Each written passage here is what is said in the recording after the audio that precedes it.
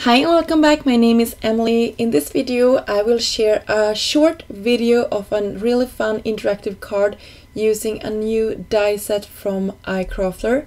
This die set also comes with or you can buy separately an add-on piece that you saw here in the beginning.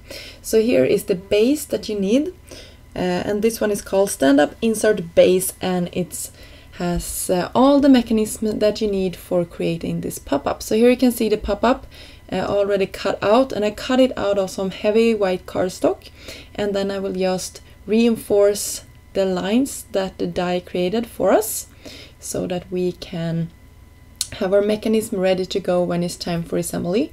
So you can see how I folded everything to the inside of that really easy and I just picked pattern papers that I had in my stash for this step and cut it out with my Big Shot and then I will adhere the mechanism and our pop-up panel to the inside.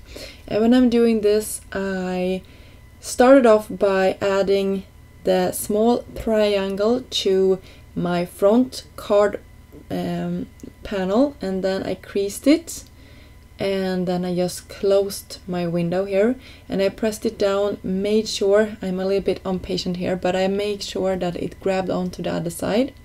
And for embellishing uh, of my project today I went quite easy and just cut out a coordinating flower from the same pattern paper set.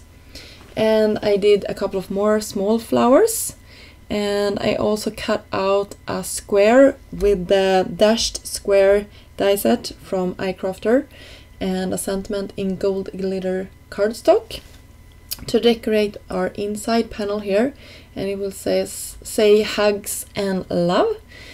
So super easy to create a card when you're using pattern papers and just a fun die set like this. Uh, I just love how this turned out. And you know if you follow my channel that I love the easy uh, interactive cards like this and uh, this was really a fun one to create and you will see here in a second how everything looks when it's all folded. And uh, I will now adhere this. You can see I'm only putting adhesive to the part that is uh, larger there so not to the triangle because then uh, the mechanism wouldn't work. And I was a little bit impatient there. So here you can fuss around with how close to the inside panel you like it. I messed around with it and I sh shifted it a couple of times.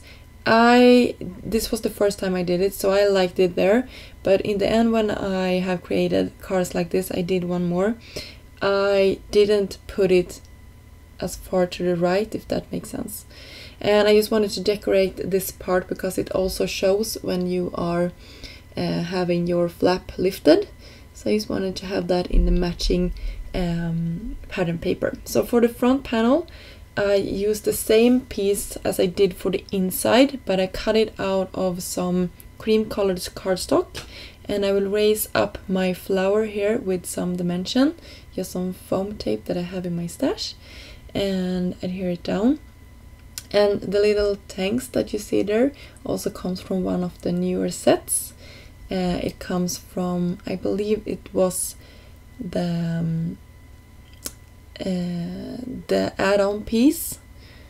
Uh, so it's really nice when you have filler images like this, or not sorry, not filler images, but when you have sentiments like this. This is a really good size, and I love the font.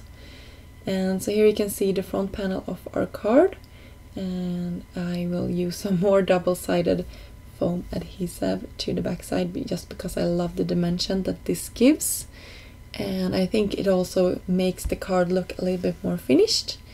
And so here it is our front panel that says thanks. And when the recipient open it they kind of say hug and love and for embellishing it a little bit more I used some sequins that I had in my stash.